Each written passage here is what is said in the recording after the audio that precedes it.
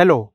So today we are looking at another experiment from the heat transfer set of experiments. The experiment is titled thermal mass. These are going to be the equipments that will be required to perform this experiment. This is the box uh, that we have provided in the kit. This is one of the building materials that we have. I have taken concrete. There are six different types of building material. We can take any one of them um, and one, one by one we can take all of them to compare variation uh, with different materials. This is the concrete panel. Additionally, we will require a couple of other equipments, the temperature gun and the lab thermometer here. This experiment here is designed keeping in mind uh, the thermal mass concept or how do we explain or, or uh, for students to understand this concept of thermal mass which is nothing but the ability of the material to uh, absorb the heat and store it inside itself before letting it pass to the other side. This capacity of storing heat uh, of or uh, of the material is called thermal mass and this value is different for different materials. Here what we want the students to envision is how different materials have this property of thermal mass and how this property can be utilized to incorporate into the design um, and and by by incorporating this concept we can make sure that our designs are basically smart in nature which can um, which can let heat pass through both the sides which can uh, which can uh, operate or which can let diurnal temp temperature exchange to take place uh, with the help of these materials. So, we will look at the assembly of this experiment.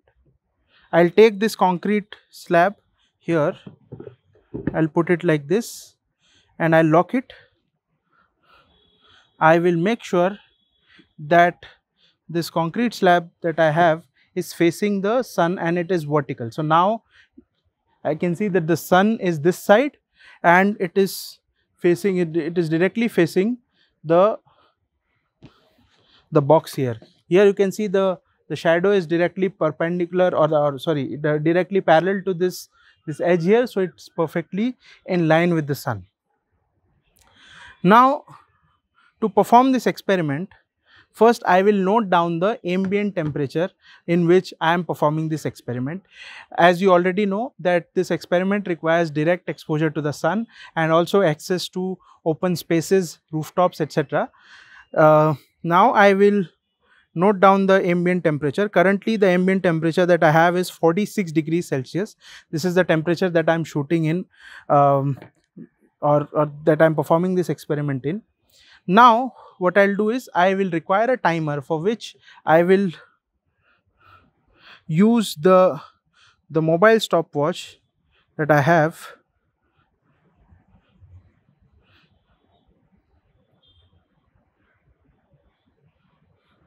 and I'll start the timer here.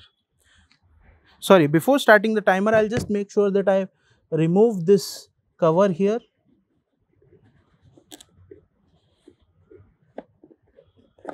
So this cover here is removable. This needs to be removed. And now I'll start the timer. And after every 30 seconds, we'll note down the inside and outside reading of the concrete. I'll use this book here that I have to note this reading. So, I'm waiting for 30 seconds to pass. So it's 30 seconds now. I'll note the, this reading. Currently it's 37 degrees and inside is 36 degrees.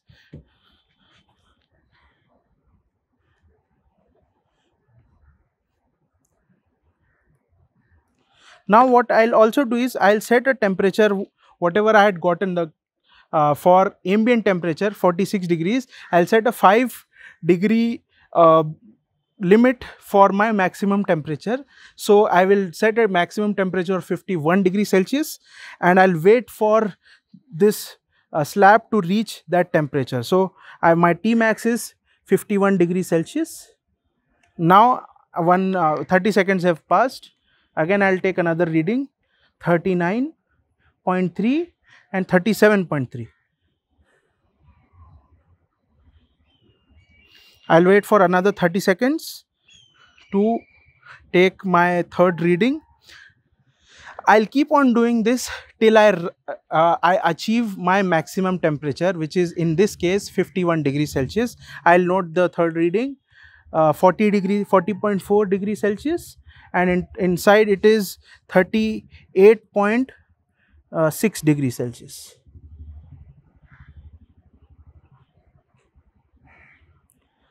So, I will keep on doing this till I achieve a temperature of as I said 51 degrees Celsius and um, yeah, so I will keep on repeating it. So, finally, I have gotten a temperature of 51 degrees Celsius.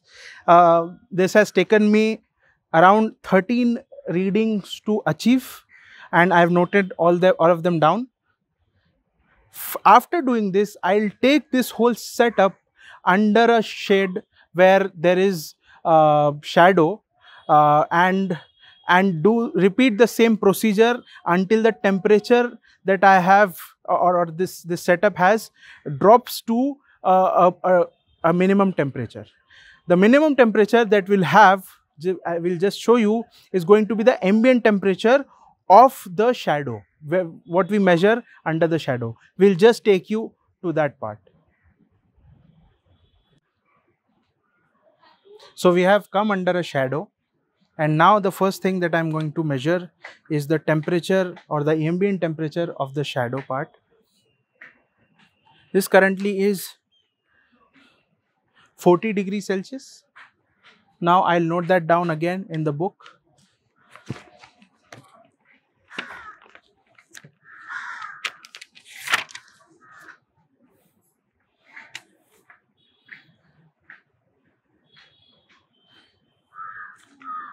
And I have to bring down the temperature of this concrete slab up to this temperature which is my uh, minimum temperature which is 40 degrees Celsius. Now I'll start the timer again.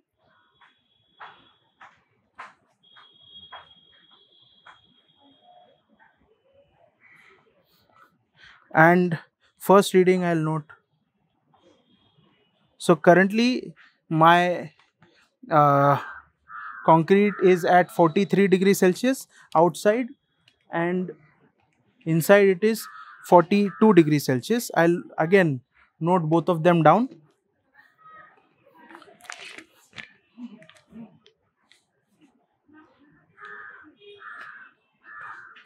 I'll wait for 30 seconds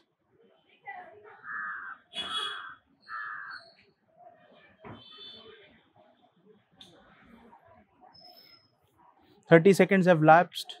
I'll note down i'll look at the temperature again which is 42 41.9 degrees celsius outside and inside temperature is 41.4 i'll keep on doing this until i achieve a temperature of 40 degrees celsius which is my minimum temperature which is the ambient temperature that i have.